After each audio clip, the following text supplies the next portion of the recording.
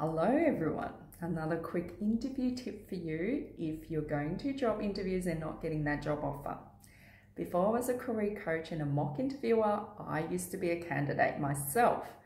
Before I go to interviews, I used to get all worked up, stressed out, very anxious, especially those jobs that I really wanted.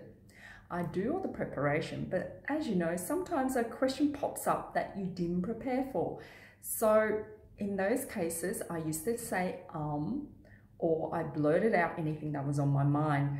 I learned from those mistakes. So instead of doing that, I try to pause and then I'll communicate to the interviewer that just give me a moment, please. I'm thinking of the most relevant answer to that question.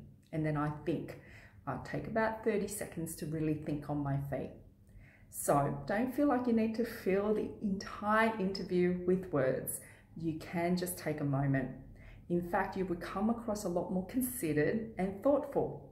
So why not try that? It will take practice, but don't forget, we're striving for progress, not perfection.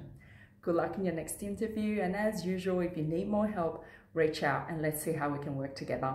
Thanks for watching. Bye for now.